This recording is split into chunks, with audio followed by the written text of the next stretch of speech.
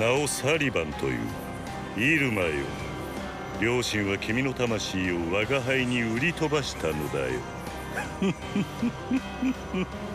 悪魔に僕の魂を売った？そんなこと？ああの親ならやりかねない。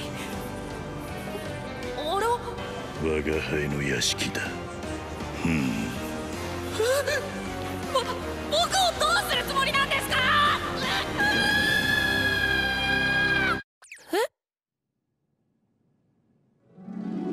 我が輩の孫になってくれないか？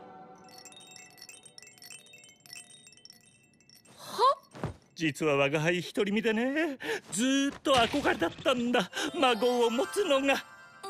孫？もう羨ましいんだよレビーやベリアールの孫自慢が。何でも買ってあげるしデロッテロに甘やかすから。ねねいいでしょで でも僕売られたんですよね。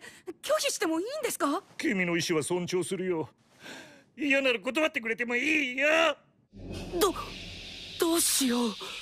生まれてこの方断るなんて経験がない。そう。鈴木入間はひどくお人よしなのである。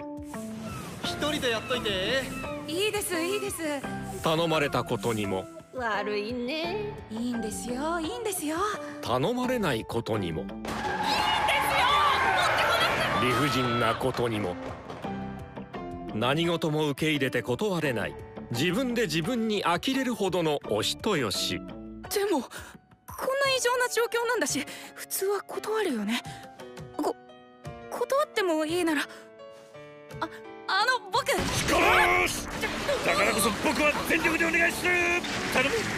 追い先短い老人を助けると思っているばくんお願い。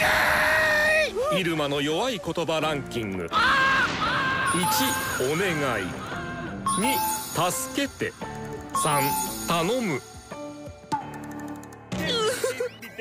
悪魔の孫になってしまった。14年間不幸だった入間は何事も受け入れる癖がついていたのである。